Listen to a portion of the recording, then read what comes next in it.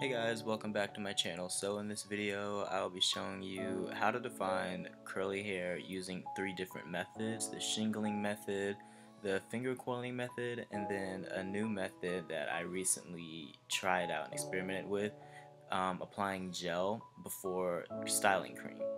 These routines were done and filmed on three separate days, two of them on the same wash and go hairstyle, this video can be used as a reference to show you the different but easy and creative ways you can, you know, use to bring out your own natural curly hair pattern.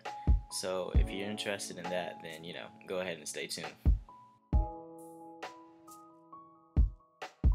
Alright, so jumping straight into the shingling routine, I'm just going to be spritzing my hair with some water and then smoothing the water in.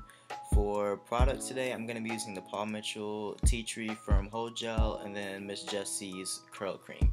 And both of these products are very moisturizing, they're very high quality. This is my first time using this product combination, but yeah, I use these two products for all three of my routines. So yeah, jumping straight into the very first routine. It's important that when you're you know working your styling products into your hair to make sure that each strand is 100% saturated since we are going for that defined look the more that you you know work the product in and smooth it down the hair shaft um, the more probable it is for that cuticle to remain smooth. Another way to increase the chances of the cuticle being smooth is doing a cold water rinse after you've washed your hair.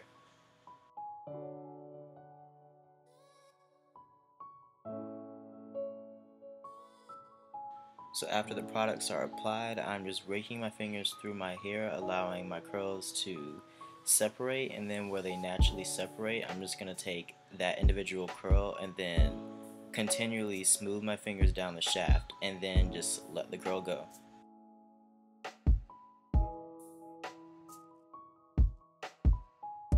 This is also a great way to make your curls a little bit more thicker than what they are naturally. If you take larger chunks and then smooth your fingers down and then let it go, um, you can see right there I just created a bigger curl.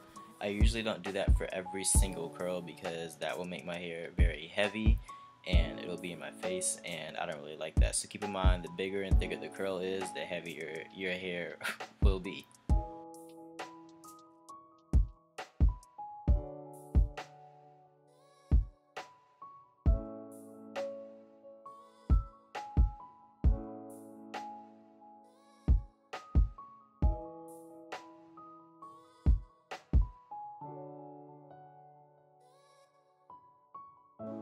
So I don't know if you guys have noticed, but I have parted my hair differently for this video. I've done horizontal lines across my head rather than the vertical line um, through you know the middle part of my head. And the reason why is because when my hair would dry I'd have that very awkward line of demarcation and it was kind of difficult to get rid of it.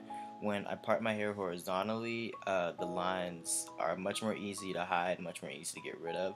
So if you have that problem uh, line of demarcation try parting your hair in different ways, you know, don't stick to parting your hair the same way every single time.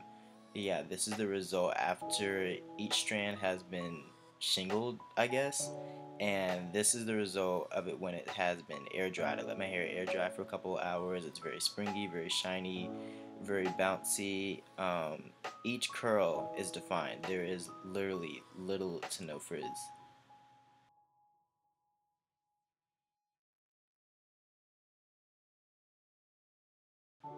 And so I slept with this overnight. I wore it out the next day, but I did nothing to it. I took it out of the bun, and this is the result. I just picked it out.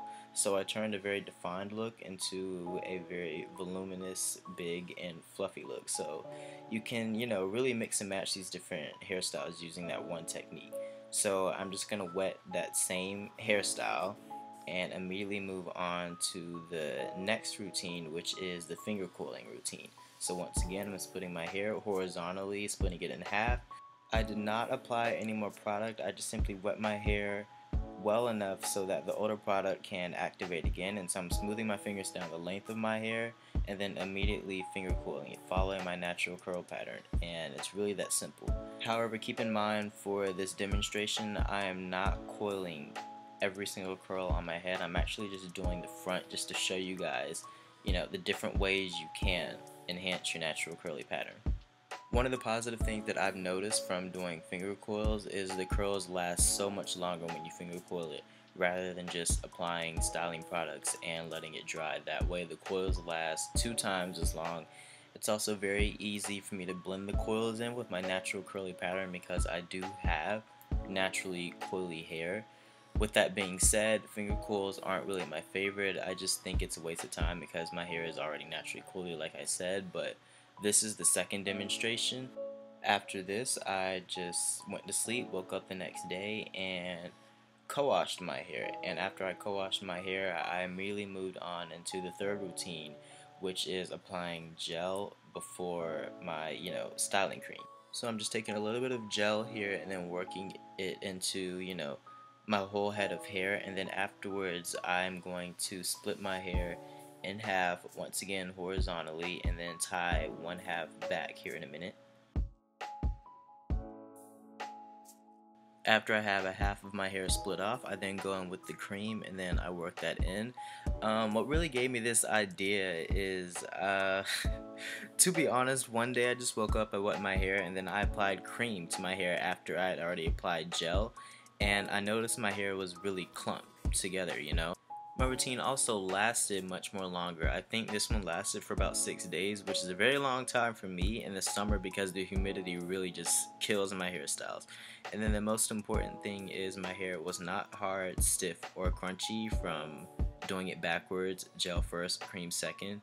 Also, don't mind the white residue, that's how it usually is for the back portion of my hair. It sits in my hair for a while before my hair actually absorbs the product but yeah after I have the product applied to both halves of my head I just shake it out and shake out my roots and I let it air dry. Alright well this is my hair. After I let it air dry I just picked out the roots a little bit but that is it. If you guys enjoyed this video give it a thumbs up. Don't forget to uh, you know comment subscribe all of that. If you have any questions let me know. Otherwise I'll see you guys in my next video